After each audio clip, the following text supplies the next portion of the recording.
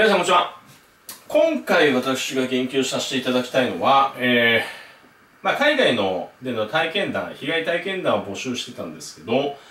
えー、プーケットで被害に遭われた方がいらっしゃるということで、えー、ございます。このレンタルバイクを借りて返す際、納得のいかない追加料金を徴収されたことがありますということで、安いホステルのフロントでレンタルバイクのチラシがあったので申し込みをし、その際250バーツでレンタルをしました。そして朝に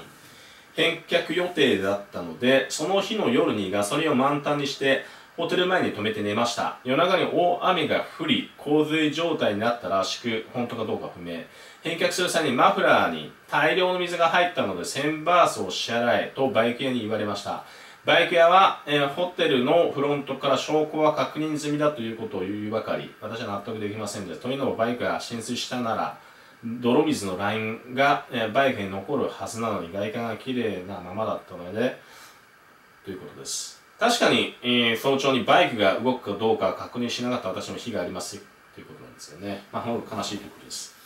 まずね、これは私は以前にもこのレンタルバイクもしくはレンタカーを借りる際の注意点っていうのを述べさせていただいたんですけど、えー、やはり中にはね、えー、そういった借りる人をね、騙して悪さをする人間がいるのは事実です。これは私がフィジーにいた時に、えー、レンタル、レンタカーの会社があってね、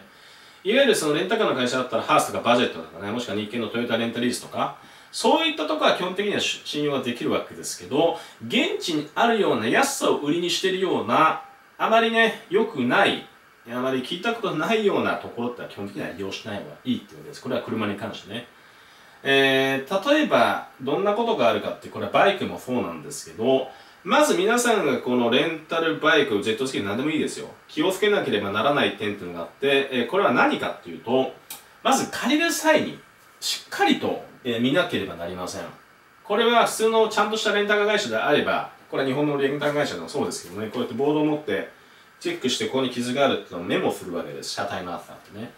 それをしっかり本人も確認しないといけなくてもし向こうが見落としてるようなことがあればここが傷ついてるっていうちゃんと本人と確認をさせるわけでできれば写真を撮ったりとか動画で撮ったりするのが必要かなって感じがします。えー、これはどんなことがあるかというとですね、私は今までいろんなところで対応してきて、海外で被害に遭われた方々、ま、擁護することもあったんで、ね、やってきたんですけど、えー、その中でレンタカー会社が最初から傷ついていたにもかかわらず、えー、お前が傷つけただろうって返却した時にですね、因縁をつけてきて、えかなりの額を請求してくるっていうのは結構あります。なので、まずは借りる前にしっかりとその状態を見る。で、エンジンを実際かけてみて、調子が悪いか悪くないかも確認する。後でもうこれ壊れそうなのにね、買わせられて、お前が壊したって、お前が貸したって言われたりするのが一番大変ですからね。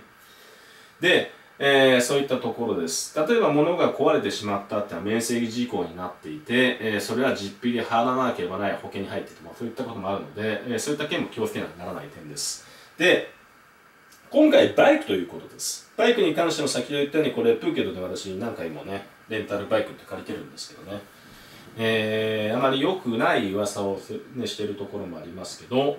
えー、まずは事前にしっかりと見る、えー、そして今回これに関してもはっきりその場にいたいたんではないので分かりません確かに、えー、大雨で洪水になってしまった場合ね、マフラーに入ってしまった場合ってね、本当に動かなくなってしまったなら確かにそういうこともあり得るんですけどね。えー、だとしたら、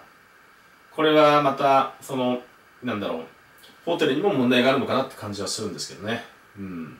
確かに普通じゃ普通だったら泥水のラインがバイクに残るはずですよね。そんなに洪水やったって倒れるはずなんです、その前に。そこまでじゃあ行ってればですよ。えー、だってマフラーって結構上の方じゃないですか。で、そんなところまで車、バイクが来てたら多分その激流で流されるかなって感じはするんですけどね。だからこれはっきりとしか言えないですもしかしたら何か悪さをしてわざと入れ込んで1000バースをっていうふうに言ってるかもしれないです。修理代が実際そんなにかからないのに、えー、その差額をちょっと設けるためにっていうこともあります。なので、まあこういったところはね、とにかく最新の注意を図らなければならないし、えー、まず借りる前にはしっかりとした確認をして、えー、盗まれたらまたそれはそれでまた問題になってしまうので、盗まれないように、え、しっかりと施錠はしておかなければならないし、え、ホテル止める時もね、周りがちゃんとね、あの、あんまり離れたところに置いてなければいいですけど、え、なるべく人目が少ないなとこ置いてた方が、あの盗まれる可能性が低いのかなって感じはします。まあ、こういった問題に関してもね、これからまだ、またまた言及させていただき、皆さんが何がタイプ海外で被害に遭われたことがあればね、えー、言っていただければこのように発表させていただきたいと思います。えー、こうする意図に関しては、まあ、多くの方々海外に行く中ですね、やっぱりその海外で被害に遭う方々を減らしたい、事前に知ってるとしてないとは違いますからね。そういった意味も兼ねて、えー、発信させていただいてるんですけどね。え、これからもどうぞよろしくお願いいたします。